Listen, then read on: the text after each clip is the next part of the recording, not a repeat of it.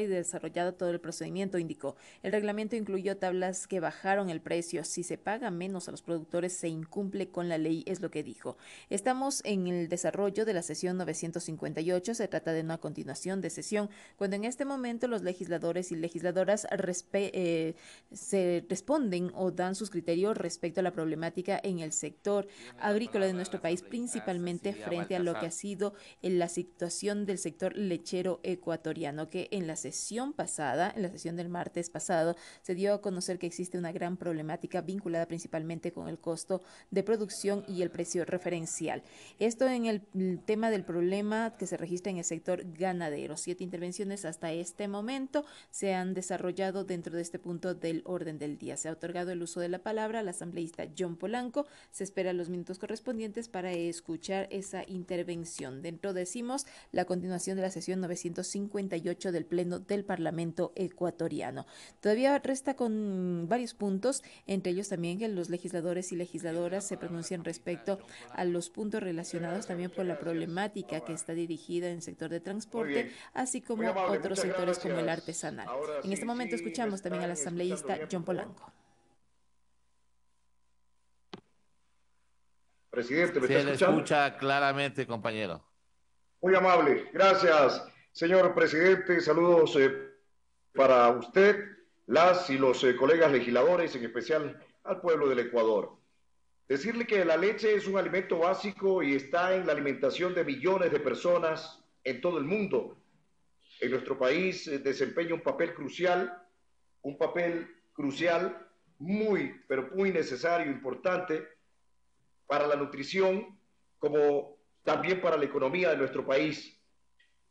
En Ecuador, el sector lácteo es un pilar fundamental de la industria agrícola, contribuyendo significativamente inclusive al PIB, al Producto Interno Bruto, proporcionando eh, mejores eh, días de vida eh, para un gran número de productores, procesadores y distribuidores, durante años, este importante sector, que es parte de la base económica del Ecuador, ha estado, sin lugar a duda, en total abandono.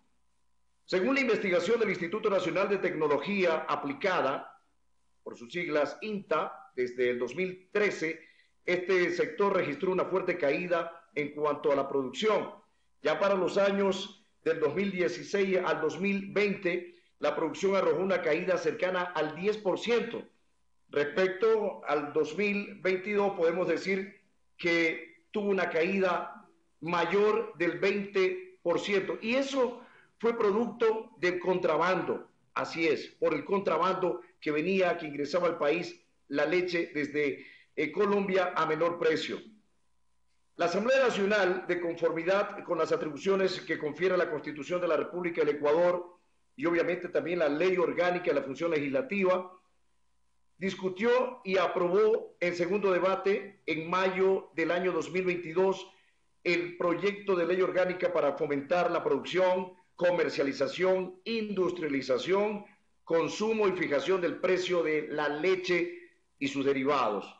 Esto fue remitido con fecha del 2 de junio del 2022 a la Presidencia de la República para la correspondiente sanción eh, o veto, según el trámite determinado en la Constitución de la República y la Ley Orgánica de la Función Legislativa. Pero ya entra en el registro oficial el 17 de agosto del 2022 la ley como tal, pero es importante establecer que a partir de este año, el 2024, eh, el actual gobierno, sí, hay que decirlo así, del gobierno del presidente Daniel Novoa, que junto al ministro de Agricultura y Ganadería, Danilo Palacios, se pusieron, se reunieron y pusieron en marcha las gestiones para reunir en mesas técnicas participativas, obviamente, a representantes del sector lácteo, eh, como productores pecuarios, en centros de acopio e industria, para después de varias reuniones de trabajo lograr llegar a consensos y obviamente acuerdos,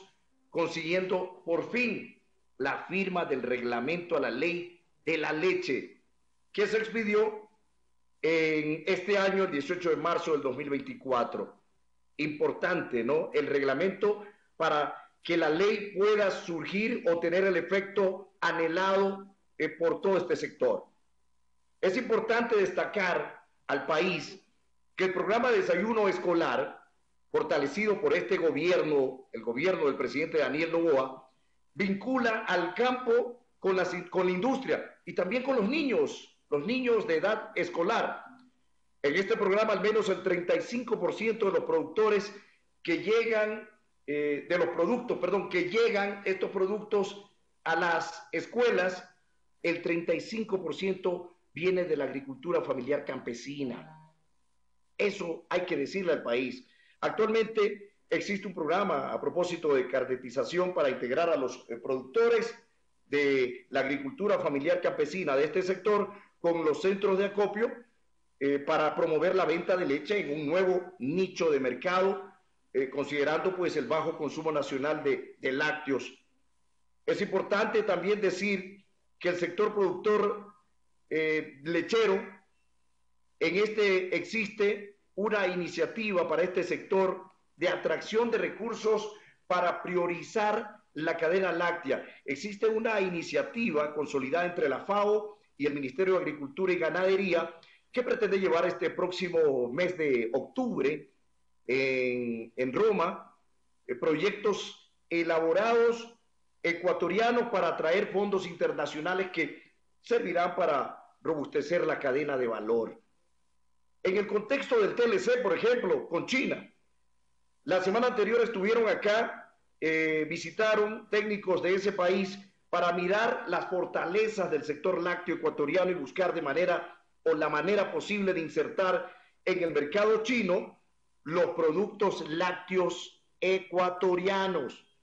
De esta manera también el país busca, busca mediante, eh, diríamos, la integración, la colocación permanente de productos ecuatorianos, cuyo retorno fomente y potencialice también sus inversiones y mejore los ingresos para, para los productores ecuatorianos. Hay que decirles también que una herramienta de normativa sancionatoria es siempre importante porque busca que la ley orgánica en mención sea respetada en su amplia extensión eh, y, y, pues obviamente esta norma sancionatoria está también disponible ¿no? para que las entidades de control puedan ejercer su trabajo y aplicarlo en el campo de sus competencias a favor de que no haya la violación de la ley y por ende el perjuicio para este sector. Conforme al acuerdo interministerial 024 efectuada en el registro oficial número 569 el 31 de mayo del 2024, el precio de la leche de referencia se encuentra en el monto de los 50,27 centavos por litro. El país necesita registrar todas las transacciones comerciales de compra y de venta de leche que se realizan a nivel, a nivel nacional y para esto de conformidad con la ley se crea el Sistema Nacional de Registro de Actores de Cadena Láctea. Podemos decirle al sector productor, distribuidor, comercializador, el industrial, que sin duda, con el reglamento aprobado, aprobado por este gobierno, bajo consenso, va a darle un giro favorable para el sector. Muchas gracias, señor presidente, muy amable.